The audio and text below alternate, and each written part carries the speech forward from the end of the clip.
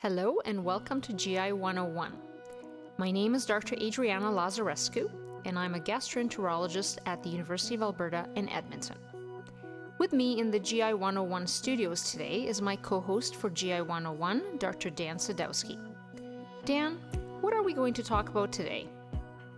Well, I would like to discuss the diagnosis and classification of esophageal motility disorders.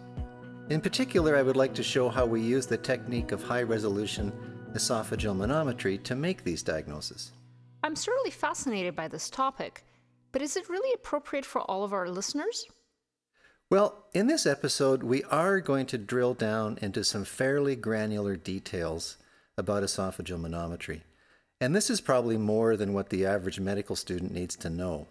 However, if you are a gastroenterology resident, or a general or thoracic surgery resident, I think you will find this podcast useful. I should also mention that I will be showing a fair number of motility tracings and charts today. These may not display well on a small handheld device, and you may have better visibility using a tablet or even a laptop computer. Okay, let's get started. Right. So, as you know, Esophageal manometry has changed dramatically in the past 10 years. For example, we no longer use manometry catheters with 4 to 5 pressure sensors, producing pressure line tracings like the one shown here. Today, we have sophisticated and very sensitive esophageal pressure catheters that are capable of generating very exquisite details of esophageal motility. For example, in our lab, we use a pressure catheter like this which has 36 sensors spaced at 1 centimeter intervals down its length. Each sensor detects pressure vectors in 12 different directions, providing information about pressure activity down the entire length of the esophagus. The data from the catheter is displayed on a topographical plot that looks somewhat like a weather map. This pressure plot is generated by commercial software. In our case, we use ManoView in our lab, but there are other software packages out there by vendors such as Sandhill or MMS. All of these programs produce a similar variation on this theme. Pressure is now represented by color, with the more intense colors representing higher pressure. For example, an area of the plot that is red is of much higher pressure than an area of the plot that is blue. On this slide, you can see a red band of pressure at the top, which is the cricopharyngeus muscle. And you can also see periodic relaxations with the swallows with water that we asked the patient to do during the study. You can see another red pressure band at the bottom of the tracing, which is the esophagogastric junction. And you'll also see periodic relaxations with the solicited swallows. In the middle of the tracing, you will see the peristaltic pressure wave in the body of the esophagus. That's very interesting, Dan. How do we use this information to diagnose esophageal motility disorders? Right. So there are really two aspects to the analysis of an esophageal manometry tracing. First, we want to assess the EGJ, or the esophagogastric junction. Is the resting pressure high or low? Does the EGJ relax adequately to allow bolus passage with wet swallows? And is there a hiatus hernia? Secondly, we want to assess the esophageal body response to solicited wet swallows. Is peristalsis present or absent? Is the peristaltic amplitude high or low? And is there evidence for esophageal spasm? In this slide, we see the section of the tracing that assesses the esophageal gastric junction resting pressure. Traditionally, esophageal manometry has reported the resting lower esophageal sphincter pressure. We now know that there are many other factors that contribute to the barrier function of the esophageal gastric junction besides the lower esophageal sphincter, and so that's why the total EGJ resting pressure is now reported in modern manometry. In our lab, the normal EGJ resting pressure is between 10 and 45 millimeters of mercury. Here's an example in this slide of an EGJ resting pressure that is low in this case, 5 millimeters of mercury. How do we make the diagnosis of a hiatus hernia on esophageal manometry? So remember that a hiatus hernia occurs when the lower esophageal sphincter, or LES, is no longer in close association with the diaphragm and has migrated more proximally into the thorax. This results in two distinct pressure bands, one from the LES and another from the crural diaphragm.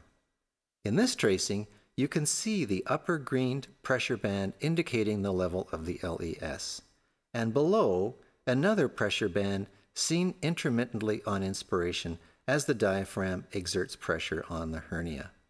This is a classic picture of hiatus hernia. You mentioned that the software does many of the pressure calculations for us. Can you explain what all of these software generated numbers mean? Yes, there are three important metrics now used in esophageal manometry, and these are important concepts to grasp as they will provide a better understanding of the current classification of esophageal motor disorders. These metrics are the integrated relaxation pressure, or IRP, the distal contractile integral, or DCI, and the distal latency. Let's begin with the IRP. The IRP is an assessment of EGJ relaxation with solicited wet swallows. It is a rather complex mathematical calculation that finds the lowest average pressure of 4 seconds duration immediately after a swallow. We used to simply measure the residual pressure of the EGJ after a wet swallow. How is the IRP better? The problem with simply measuring residual pressure is that it is influenced by the activity of the diaphragm. For example, if someone is breathing rapidly during the study, the increased diaphragmatic pressure exerted will falsely elevate the estimation of residual EGJ pressure. Fortunately, the ManoView software does this calculation for us. You can see on this slide that the software detects the timing of the UES relaxation with swallow, it's the first red arrow, and then it looks for the lowest pressures in the 10 second window immediately after the start of the swallow and does the calculation doing the integration over 4 seconds. In this case, the IRP comes out to 9.4, which is normal. In our lab, a normal IRP is less than 15 millimeters of mercury. While it's not essential to understand the mathematics of the IRP calculation, it is important to know that a high IRP that is greater than 15 millimeters of mercury indicates that the EGJ is not relaxing appropriately with swallows, and this is a significant manometric finding. Let's talk about the distal contractile integral. What is the DCI? The DCI is an assessment of the total peristaltic pressure down the length of the esophageal body. And if you take one of our uh, topographical plots, which is a view from the top, and if you actually turn it slightly on its side so that you see the three axes, that is x, y, and z, as in this slide, you see the pressures of the esophagus looking like a mountain range. The DCI is simply an integration of all those pressures, basically calculating the volume of that mountain range. And so larger volumes indicate higher overall esophageal pressures.